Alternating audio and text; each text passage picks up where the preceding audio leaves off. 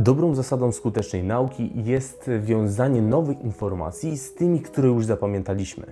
Takie tworzenie skojarzeń między nimi znacznie ułatwi ich przyswajanie. Na pewno słyszałeś, że warto uczyć się skojarzeniami, a nie wkuwać każdą wiadomość osobna, jakby była z niczym niezwiązana.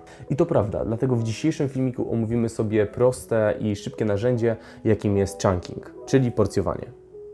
Trudno jest zapamiętać wiele elementów naraz, na przykład aż 13 objawów raka płuca po prostu czytając je. Po przeczytaniu mógłbym wymienić no może 7 z nich. Jednakże jeśli pogrupuję je i nadam grupom jakiś wspólny mianownik, to ich zapamiętanie będzie znacznie łatwiejsze. W ten sposób zamiast 13 elementów mam do zapamiętania tylko 4. Grupowanie też nie może być przypadkowe. Elementy w grupie muszą mieć coś ze sobą wspólnego, jakieś wspólne skojarzenie. Pierwsza grupa to objawy związane z układem oddechowym, kaszel, duszność, krwioplucie itd. Druga grupa to objawy związane z osłabieniem odporności i wyczerpaniem organizmu. Trzecia to wszelakie dziwne zespoły i powikłania z obecności samego guza, a czwarta to wszelakie bóle. Bóle barku, ból opłucnowy i ból przy połykaniu, czyli dysfagia. I to jest właśnie idea porcjowania. Każda grupa ma wspólną cechę i wystarczy zapamiętać jaka jest to wspólna cecha, czyli tylko cztery elementy i wtedy automatycznie przypomnimy sobie objawy w danej grupie. Aby długotrwale zapamiętać materiał, informacja musi trafić z pamięci krótkotrwałej do pamięci długotrwałej w procesie zwanym konsolidacją. Według badań George'a Millera człowiek jest w stanie umieścić w pamięci krótkotrwałej około 5 do 7 elementów. Więc jeśli napotkamy na kolejną informację, którą chcemy zapamiętać, to nasz mózg ma dwie możliwości. Albo nadpisze wcześniejszą informację, żeby zrobić miejsce dla nowej, przez co ją zapomnimy, albo przesunie tą informację do pamięci długotrwałej. Lecz to, pamiętajmy, wymaga dodatkowego wysiłku w postaci odpytywania się, czyli nauki aktywnej. Właśnie dlatego prawie niemożliwe jest przeczytanie jednokrotnie całego działu podręcznika i jego całkowite zapamiętanie. Jednakże, gdy użyjemy porcjowania, to jednym elementem nie będzie jedna informacja, tylko cała grupa informacji. Przez to możemy znacznie poszerzyć możliwości naszej pamięci krótkotrwałej, a tym samym pamięci długotrwałej.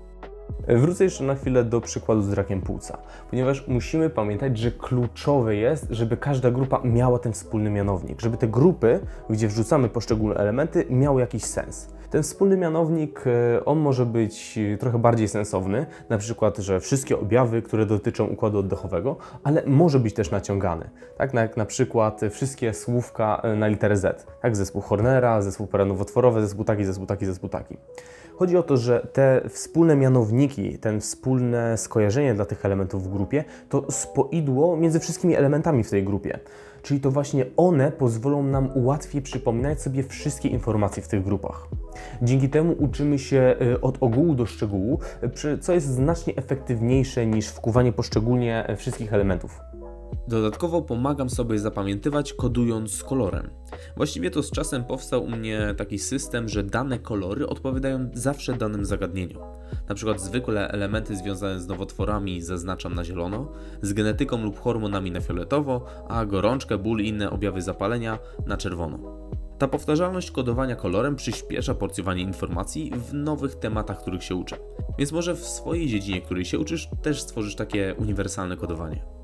E, chunking to narzędzie, które znacznie ułatwia naukę list informacji, z którymi często spotykamy się na studiach i w szkole. Właściwie e, większość podręczników jest zbudowana w ten sposób, że informacje są wypisywane od myślnika albo w postaci numeracji.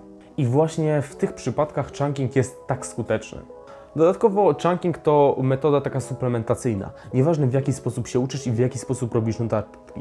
Wolisz robić fiszki? Nie ma problemu. Robisz sobie notatki w swoim zeszycie? Też możesz go zastosować. Robisz notatki w Notion i tak dalej? Zawsze może być on zastosowany.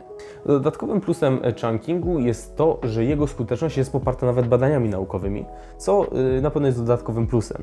I myślę, że jeżeli jeszcze nie wykorzystywałeś chunkingu, czyli porcjowania, mm, czy to intuicyjnie, czy już o tym słyszałeś, to warto na pewno go spróbować spróbować. Metody porcjowania używam zarówno podczas robienia map myśli, pisania notatek w Notion, a także pisania fiszek w Anki. Dlatego pokażę Ci teraz kilka przykładów, żeby lepiej pokazać i lepiej zobrazować, jak używam tej techniki. E, Drugim przykładem poza rakiem płuca, gdzie wykorzystywałem chunking, jest e, moja mapa myśli dotycząca raka szyjki macicy. Tutaj chunkingu użyłem dwukrotnie. E, Pierwszy raz znowu w podzieleniu na grupy objawów choroby. Pierwsza grupa, czyli krwawienia, czy to pomenopauzalne, międzymiesiączkowe czy, oraz upławy, no to można powiedzieć, że jest to grupa a, który, gdzie wspólnym mianownikiem jest, że coś, brzydko mówiąc, e, wycieka z pacjentki. E, Druga grupa jest związana z bólem, znowu jest kodowana na czerwono, czyli dyspareunia, ból podczas stosunku oraz e, ból miednicy. Trzecia grupa, tutaj wspólnym mianownikiem jest naciekanie nowotworu, może być to ucisk na moczowody, co będzie skutkowało wodonerczem i tak dalej, oraz przetoki pęcherzowo-pochwowe czy pęcherzowo-jelitowe. Ostatnia grupa, e, czyli objawy związane z przerzutami. Tutaj wrzuciłem trzy elementy, czyli e, przerzuty i objawy związane z przerzutami do płuc, do wątroby i e, do kości. Drugi raz, kiedy użyłem chunkingu w tej mapie myśli, są to czynniki ryzyka raka szyjki macicy. Podzieliłem na trzy grupy i wrzuciłem w nie siedem elementów łącznie. Pierwsza grupa jest związana z mm, ogólnie powiedzmy płciowością, gdzie umieściłem zakażenie HPV, e, którym można się zarazić podczas stosunku, e, częsta, wiel, wielokrotność stosunków czy wielorództwo. Druga grupa na brązowo jest związana mm, z takimi czynnikami środowiskowymi, e, czyli palenie papierosów, niski status e, socjoekonomiczny. E, I ostatnia, trzecia grupa e, jest związana z osłabieniem odporności e, i wrzuciłem tutaj immunosupresję oraz e, ogólnie zakażenia. E, Kolejnym przykładem wykorzystywania porcjowania może być e, użycie podczas robienia notatki, na przykład w Notion. E, Weźmy sobie przykładowy temat, na przykład mononukleozę. Tutaj użyłem porcjowania do podzielenia objawów mononukleozy. Podzieliłem na trzy grupy. Pierwsza grupa na czerwono są to objawy związane z ogólnym zapaleniem, czyli tą cechą wspólną jest zapalenie. E, Gorączka, która jest konsekwencją zapalenia, zapalenie gardła i migdałków oraz nieżyt nosa, e, którego powodem jest zapalenie błony śluzowej nosa i zatok. E, Druga grupa, gdzie wspólną cechą jest powiększenie jakichś struktur. Limfadenopatia, czyli powiększenie węzłów chłonnych, a hepatosplenomegalia to powiększenie wątroby i śledziony. E, Trzecia grupa na zielono jest to e, dobry przykład tego, że objawy, że, że wspólny mianownik grupy nie musi mieć jakiegoś ogromnego sensu. E, To to, że są to objawy, których nazwy pochodzą od nazwisk. Tak, objaw Glanzmana i zespół Gianotti-Crosti, jeśli w ogóle tak to się wymawia. I jeszcze może dwa przykłady z fiszek. Fiszka pierwsza to jakie są czynniki ryzyka Clostridium difficile, zakażenia Clostridium difficile, takiej bakterii. I podzieliłem właściwie te czynniki ryzyka na trzy grupy. Pierwsza jest to związana z ogólnie leki, to jest ten wspólny mianownik, czyli antybiotyki, też to są leki i wiele innych leków, jak tam IPP, immunosupresyjne, chemioterapia. Druga grupa jest to grupa, gdzie wspólnym mianownikiem jest, e, są osoby starsze, czyli wiek powyżej 65 roku życia oraz choroby współwystępujące, które najczęściej pojawiają się u osób starszych. E, I trzecia grupa jest to grupa, nazwijmy ją pod tytułem w szpitalu, e, czyli wspólnym mianownikiem jest to, co może się stać w szpitalu. Po pierwsze pobyt w szpitalu w zakładzie opieki, e, a po drugie zagłębniki nosowo-żołądkowe czy operacja brzuszna, czyli wszystkie czynności lub przyrządy, które są wykonywane w szpitalu. No i pozostałem jeszcze upośledzenie odporności. Jeśli nauczysz tworzyć się takie grupy, to nauka długich list informacji będzie znacznie sprawniejsza. Z czasem już będziesz instynktownie tworzyć takie grupy podczas e, czytania rozdziałów w książce.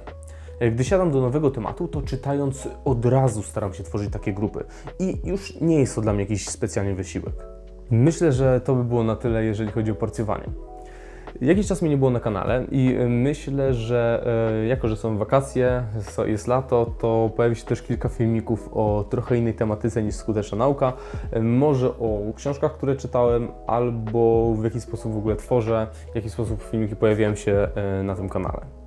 Szczególnie myślę, żeby zrobić e, filmik w końcu, właściwie o książce, którą e, bardzo lubię, bardzo szanuję, e, czyli Zarządzaj swoim czasem, która myślę, że jest trochę mało popularna, przez to, że jest dosyć słabo dostępna w Polsce. I myślę, że kolejny może filmik to nie będzie. Ale dzisiaj to by było na tyle. Jeszcze raz dzięki za oglądanie, powodzenia w nauce. Na razie.